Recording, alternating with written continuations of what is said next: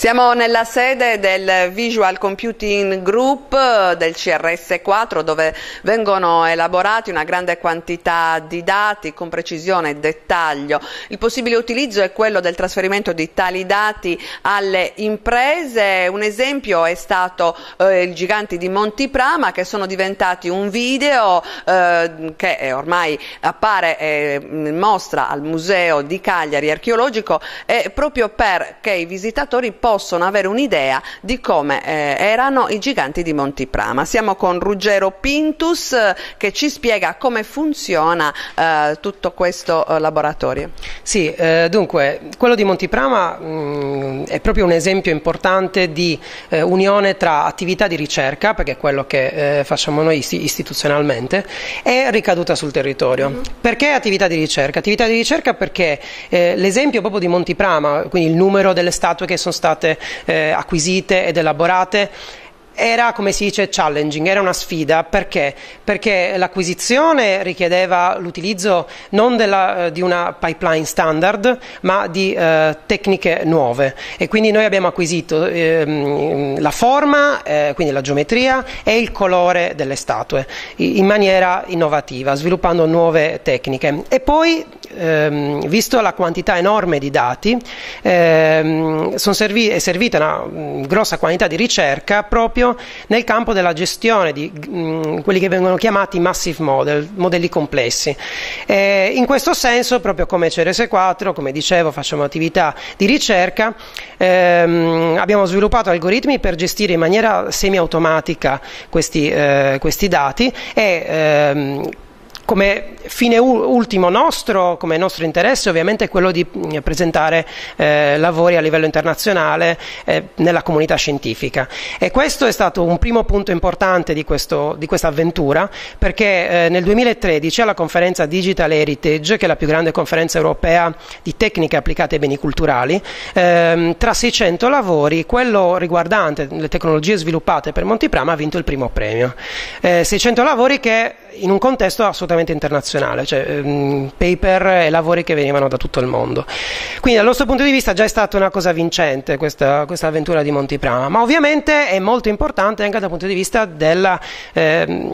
della sovrintendenza, l'altro ente pubblico diciamo, che era interessato a questa attività. Eh, uno per l'archiviazione, eh, avere le statue ad, eh, acquisite ad altissima risoluzione, sia in forma che in colore, è importante per la memoria futura. Noi abbiamo adesso in questo momento eh, eh, i dati ad altissima risoluzione come erano in un momento storico ben preciso. Qualsiasi cosa capiterà alle statue, come è successo purtroppo in altri casi riguardanti i beni culturali che, sono, che si sono deteriorati prima ancora che potessimo acquisirli, acquisi, eh, potessimo ovviamente la comunità scientifica, eh, in questo caso invece no, li abbiamo adesso e quindi qualsiasi cosa succeda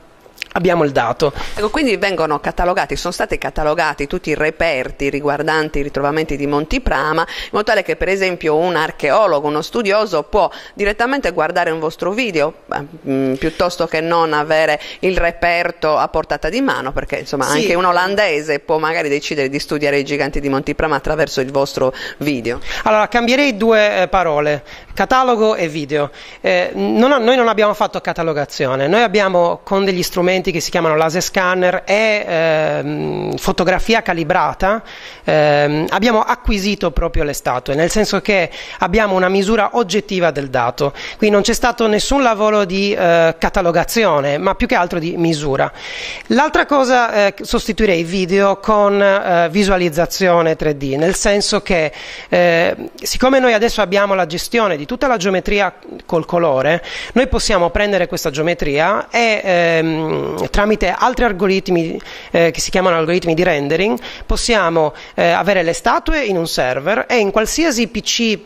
comune eh, con una connessione a internet o, o in locale eh, possiamo visualizzarli. Visualizzarli e anche ovviamente misurarli tramite interfacce che ci permettano di uh, posso fare degli esempi eh, effettuare misure lineari estrarre delle sezioni che sono cose standard nel, nello studio archeologico cioè il fatto di disegnare sezioni per esempio. Però in questo caso per quello che mi voglio, mm, diciamo, voglio andare lontano dall'idea della catalogazione. In questo caso possiamo farlo usando il computer con una precisione assolutamente assoluta, senza errore umano, diciamo, eh, o comunque eh, aiutando diciamo, l'archeologo a fare delle misure. E questo può essere fatto sia in locale che in remoto, il che vuol dire che, un, come eh, si diceva prima, un archeologo olandese non ha bisogno di venire qua a, a, vedere e anche a manipolare le statue, che comunque è sempre problematico dal punto di vista dei protocolli di accesso, manipolazione del, del, del, dell'oggetto artistico, che comunque è sensibile,